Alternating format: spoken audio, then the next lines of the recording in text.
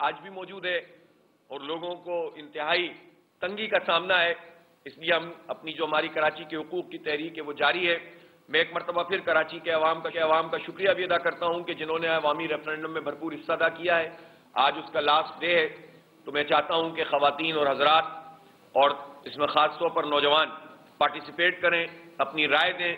इस राय का इन ताला एक असर होगा और इस राय को लेकर हम अपनी इस जद्दोजहद को भी आगे बढ़ा सकते हैं और के इलेक्ट्रिक माफिया को बेनकाब भी कर सकते हैं और उनके सारे सहूलतकारों को भी बेनकाब कर सकते हैं और इनका लाइसेंस कैंसिल करने की जो जिद्दोजहद है, वो हतमी अंजाम तक और के इलेक्ट्रिक माफिया को बेनकाब भी कर सकते हैं और उनके सारे सहूलतकारों को भी बेनकाब कर सकते हैं और इनका लाइसेंस कैंसिल करने की जो जिद्दोजहद है, वो हतमी अंजाम तक पहुँच सकती है।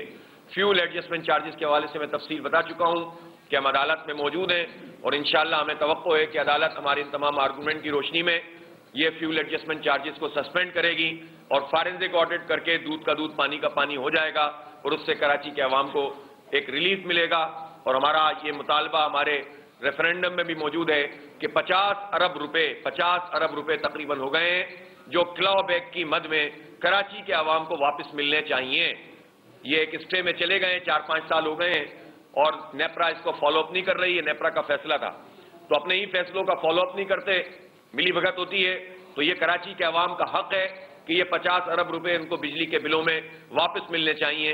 इन ताला जमात इस्लामी के इलेक्ट्रिक का भी ताकुब करेगी, इनकी सहूलत का तमाम पॉलिटिकल पार्टीज़ का भी ताकुब करेगी, बेनकाब भी करेगी उनको सबका। और इन हुकूमतों को भी कि जिन्होंने इसको ताकत फराम की है और लूट मार का बाज़ार गर्म करने की इजाज़त दी है। बहुत शुक्रिया।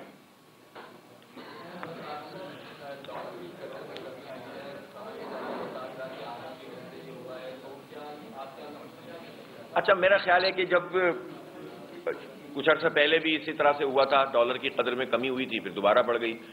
तो ये मसला जो है वो देखना चाहिए कि इकदाम क्या कर रहे हैं आप।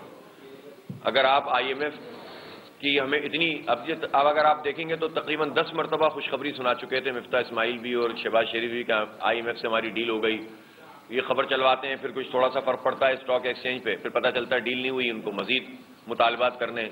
तो आईएमएफ के गुलाम इतने गुलाम इतने गुलाम, चाहे इस पार्टी में हो, पिछली पार्टी में हो, उससे पिछली पार्टी में हो, इन सब लोगों की हुकूमत है। वज़ीर भी वही होते हैं, ब्यूरोक्रेसी भी वही होती है, गुलाम भी वही होते हैं, स्टेक भी उनके वहीं होते हैं।